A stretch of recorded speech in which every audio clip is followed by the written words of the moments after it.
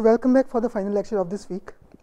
So, uh, we are talking about the problem of part of speech tagging and the methods that we are discussing are generic methods for any sequence labeling task.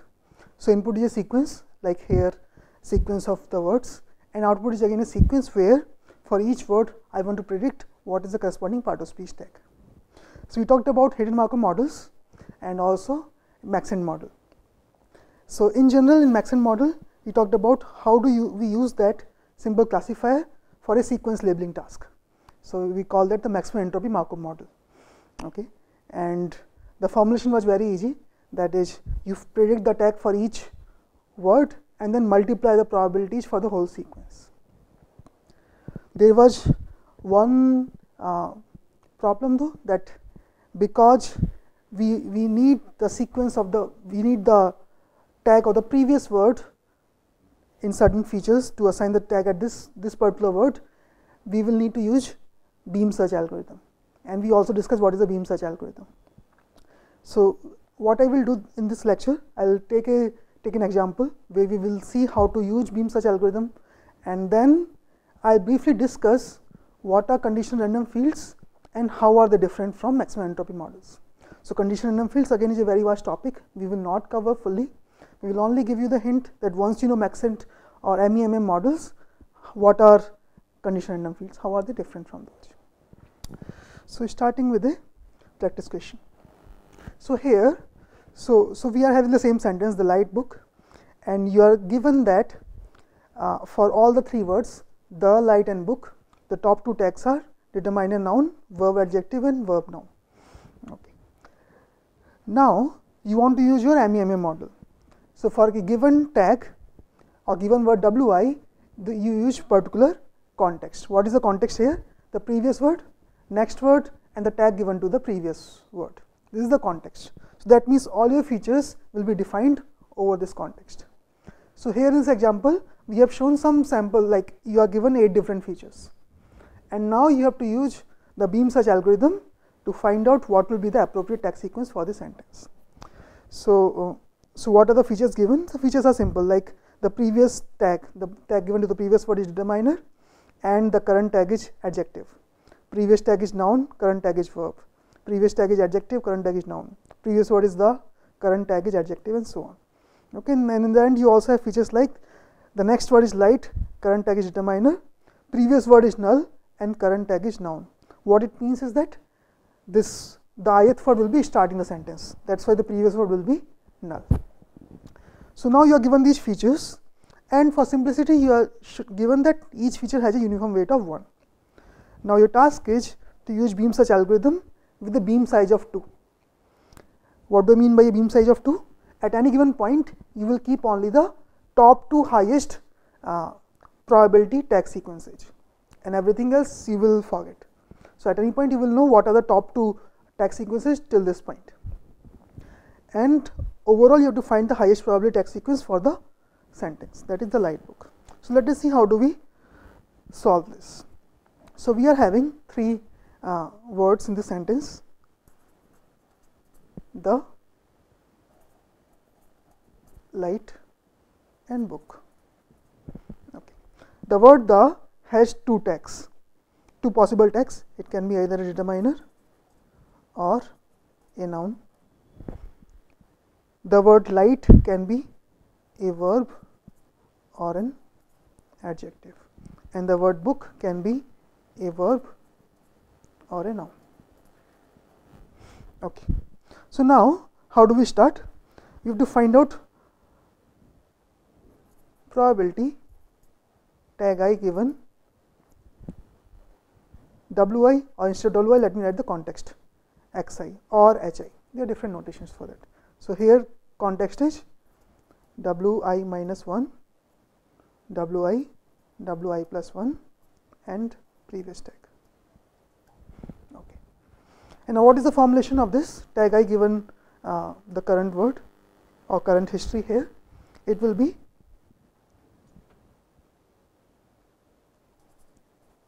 exponent summation lambda i f i okay, and feature we know is a function of input and the tag divide by z and z is nothing but a normalization constant. So, that all the tag probability will add up to 1.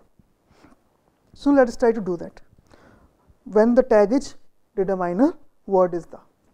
Okay. So, what so let me just write down exponent of summation lambda i f i and lambda i is lambda i is 1 here in this problem. So, it will be simply exponent summation over f i. So, what features are 1 what features are 0.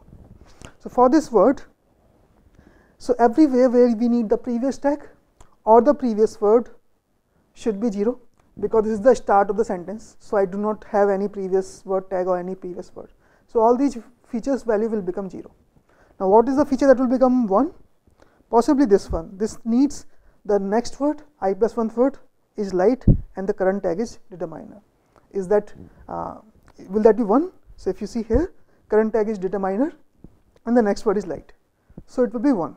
So, that is for feature f 8. So, so it is 1. So, I will say it is exponent or let me write e to the power 1 yes lambda is 1 divided by z let me find out z later let me find out the the value for now now. so again similar to this one all the features from f1 to f6 will become 0 because we do not know what is the previous word or previous tag this feature could have become 1 but the current tag is not determined but noun so this will also be 0 this feature previous word is null. Yes that is true. This is the start of the sentence and the current tag is noun this will also become 1 okay. So this is the only feature that becomes 1 for noun so this is e to the power 1 and what is the normalization this plus this. Okay. So 2 times e to the power 1 divided by 2 times e to the power 1 so both will become 0.5 okay so fine so at this point all the two tags have both the both the tags have a probability 0.5 and here because I am using a beam size of 2 I will have to keep both these tags. So, now I am keeping both these tags with probability 0.5 0.5. Now, let us go to the next word light. Now, again so I have to use probability of verb given this history. Now, the history is previous word, current word, next word and the previous tag. So, now when I am going about talking about verb, if I have to compute these features, I need to know what are the what is the previous tag. Okay. Here it can be either determiner or noun. So, that is why I need to talk in terms of the sequences. So, here I have one sequence determiner noun, determiner verb and second sequence with noun verb. So, I have to take both the sequences separately and compute the probability. Similarly, I will have to do the same for adjective. Okay. So, let us try to do that for one sequence say noun verb sequence. Okay. So, what will be the uh, probability of tag i given the word. So, this we can write here. So, let me write only this summation lambda i f i part. So, this will be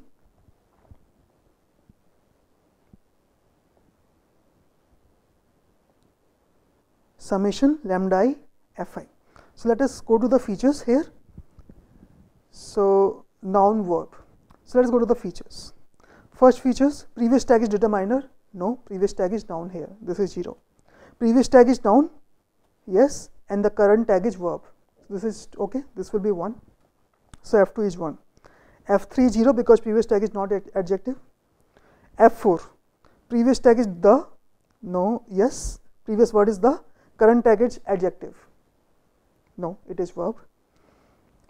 Then this one is also not correct because the current tag is not adjective but verb previous word is light no next word is light no previous word is null no so only f2 is 1 so this will be for this sequence it will be e to the power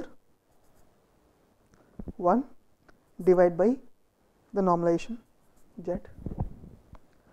Now, what will this normalization depend on? This will depend on from all everywhere where this context is taken what are the uh, probabilities. So, I have to compute the probability for this one also to find out this z. Okay. So, I know this probability, I know this function, this function and I will normalize them to add to 1. So, what will be for the function for noun and adjective? Let us try that from the features again. Previous tag is adjective determiner gone, previous tag is noun but current tag is verb no, previous tag is adjective no, previous word is the yes and tag is adjective yes. So, this will become 1 F4 will become become 1 previous word is the yes. Next word is book yes. Current tag is adjective this will also become 1 all three will be 0 so now this will become e to the power 2 divided by z and z i can write as e plus e square.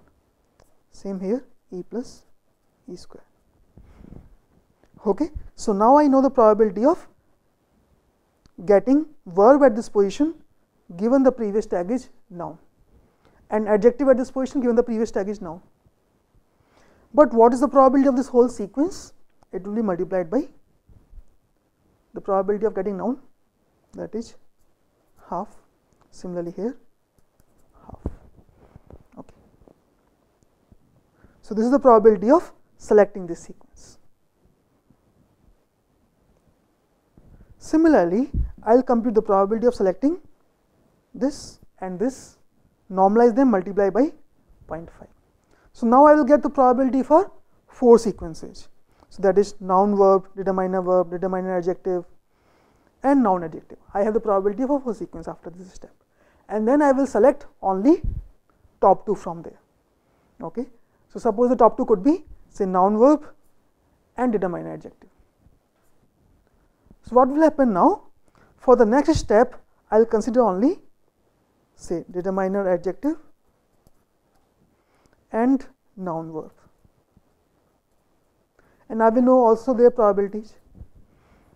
Then I will take each individual as a history and see okay determiner adjective then noun determiner adjective then verb. Normalize the probability. Similarly, noun verb noun noun verb verb normalize the probability accordingly multiply this.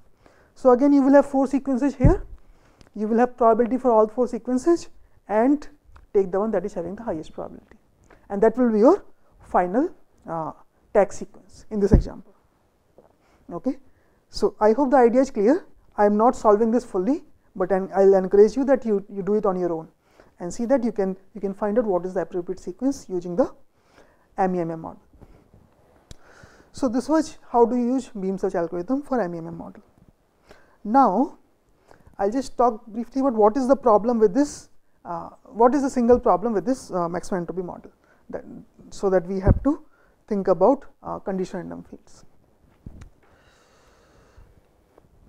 So, in maximum entropy model we do a per state normalization that is all the mass that arrives at a state must be distributed among the possible successor states and this is giving rise to a label bias problem. Okay. So, let us see what is the intuition. So, what do I mean by this? So, let me uh, take the same example. So, first let me take the same example to explain what do I mean by normalization at each state. So, take this one. Okay. So, you are computing noun verb and noun adjective okay. And you had the features like e square and e1, but you are normalizing them by so you are normalizing them such that these two add up to 1. Same thing you will do with determiner. You will make sure that these two add up to 1. So, you are normalizing at each state. Okay. So, why will that, that be a problem? So, let me just take an hypothetical example. So, suppose in your uh, maximum entropy model, you are having a tag T 1 and tag T 2 at any given point. Now, next point suppose from T 1 you can go to two different tags T 1 prime and T 1 double prime and from T 2 again you can go to T 2 prime T 2 double prime. They may be same they may not be same. Now, how do we compute this probability? It will be e to the power summation lambda i f i divided by z z is nothing but the addition of these two. Same here. Now, this is what is the importance, how, how many features you are having and so on. Suppose for a particular uh, choice of these tags, it happens that in one of the branch you are having this value as 0.002 okay, and this value as 0.0001 uh, okay, or let us say or even much smaller value. And this branch is having value of 0 0.03, 0 0.04. So, so what will happen now? This is not normalized values. Okay. So, it tells that the summation lambda f i is getting a higher score in these two cases and lower score in these two cases. But because you are doing per state normalization, you will divide it by 0.002 plus 0.0001 and that will be close to say very close to 1 maybe 0.98 or something. Okay. On the other hand this will be close to 0.45 or 0.55. So, what is happening here even though this probability was low when I normalized this became very uh, this became very high that is one particular problem. On the other hand suppose that from T 1 there was no possibility of going to T 1 double prime. So, there was only one tag possible. So, you will in, independent of the context it will always get a probability of 1 because you have to normalize at each state. So, that is if from T 1 I can only go to one tag T 1 prime and everything else has a probability of 0 because of normalization this will become 1. So, we multiply this probability by 1 independent of the context and this is called as the label bias problem and this comes because you are normalizing at each step.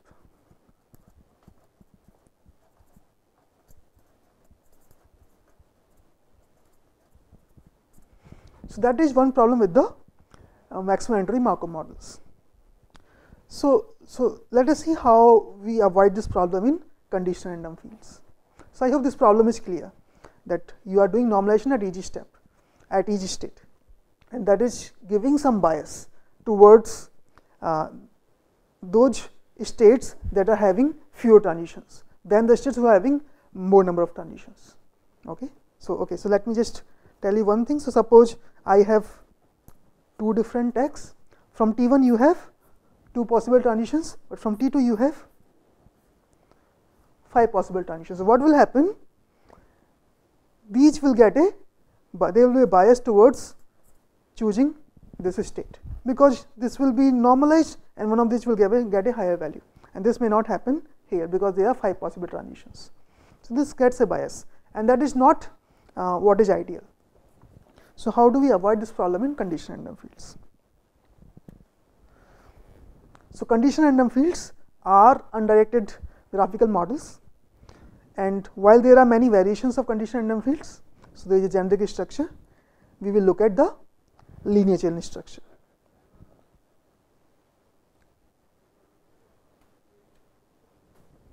So, here is we are here we are seeing the linear chain structure of condition random fields. So, again like in the previous case you are having a sequence x 1 to x n and these are the tags y 1 to y n assigned to these tags. Now, how they are so in what way they are very similar to maximum entropy model they are similar in the sense that we they use the same sort of feature functions. So, what we are seeing here for the ith point the feature function. So, suppose i is equal to 3 would be a function over the previous tag y 2 current tag y 3 the whole the input you can take any any number of words before and after x 3 and this is the ith index. Okay. So, feature functions are again function of the input current tag and previous tag this is in the linear chain structure. So, condition random field are like uh, uh, factor graphs. So, what happens the probability of each uh, node will depend on, on only its its neighbor. Okay. So, and you can use the same sort of features. So, like uh, so this is what we had discussed in maximum model also. So, I have a feature that is 1 if previous tag is in, current tag is nnp and the current word is September and 0 otherwise. So, you see they are very similar sort of functions that we are using in maxent. So, so they are same in, as maxent in, in that sense, but how they are different? So, the difference comes in how the normalization is done. In maxent model or maximum entropy Markov model, we are doing normalization for each state. Okay, so that is at each state if I have multiple transitions, I will make sure that the probability for them adds up to 1. This does not happen in condition random fields. So, we will compute uh, the features uh, expectations of feature values for each possible transition whole sequence and then I will do normalization. So, that you can see from the, the probability function here. So, y is the whole y is a whole sequence y1 to yn given a current the current input sequence x1 to xn and lambda is the, the feature uh, weights that you will learn. And this is 1 by zx, so you are seeing a single normalization parameter exponent summation over i is equal to 1 to n summation j lambda j f j. Okay. So, uh, let us try to understand quickly what this uh, function means. So, you are having 1 upon z x exponent summation i is equal to 1 to n summation over j lambda j f j and this f j is the jth uh, feature and this is probability y given x lambda. Lambda are the feature weights. Now, let us try to understand this. What do I mean by y? y is a sequence y1 to yn and x is the input sequence and there are many such sequences possible. So, this is the probability for a given sequence and this z is a normalization that is done over all. So, that is the summation over all the sequences. So, you can write it as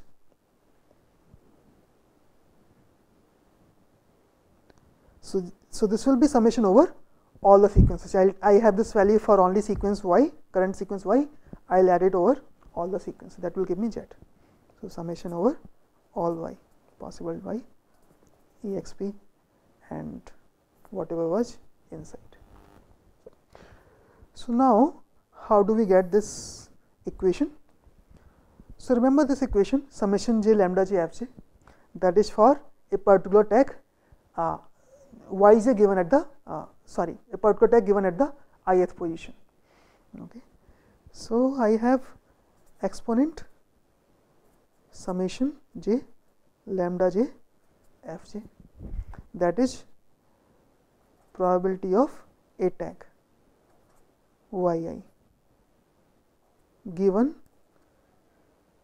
x i x i can be all history at the point divided by z was there, but forget about the z right now. Now, here we are computing probability for the whole sequence y i i is equal to 1 to n. So, so this will be multiplication. So, multiply i is equal to 1 to n. So, multiply i is equal to 1 to n.